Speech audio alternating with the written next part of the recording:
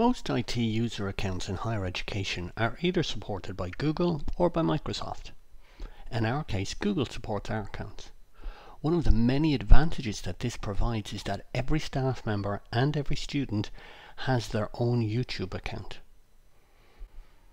There are thousands, if not millions, of videos uploaded to YouTube every single minute, which makes it the biggest learning platform in the world by a long shot.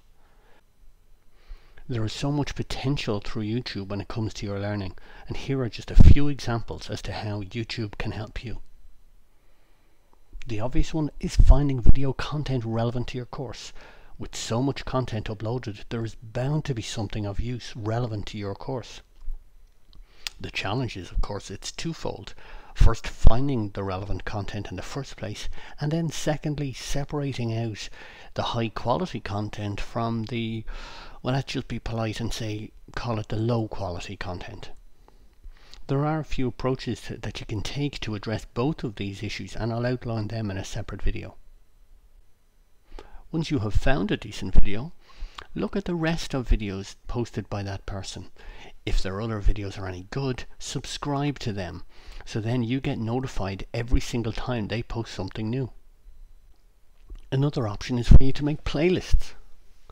Maybe you find some great videos, but none of them cover absolutely everything that you need. Creating a playlist will allow you to connect a selection of videos together. You can then create several playlists, for one for each topic, for example. Finally, of course, you can upload your own content. Remember, not everything that you have produced has to be public you can set a video to be private, which means only certain people uh, that you allow will be able to see the video. You can have it as unlisted, which means anyone with the link can see it. And of course, you can then have it public, where anyone can see the video and it's also available for anyone to search for. The choice is 100% up to you. There are so many options, and this is just three or four to whet your appetite. But if you do need any more information, please visit support.google.com.